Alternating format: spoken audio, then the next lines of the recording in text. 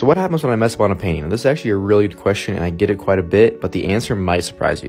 So you'd think with detailed paintings, one mistake I mess up the entire painting, but it's actually the complete opposite. So I use two types of paints, the first being acrylic paint, and that dries really quickly, so if I mess up, I can just paint over it super easily. And I also use oil paint, which takes really long to dry, so it's a little more tricky. I basically have to blend in other colors to that mistake to fix it. There's other ways to do it too, you just sort of have to experiment and see what looks best. But like the great Bob Ross said, there's no mistakes in art, only happy accidents.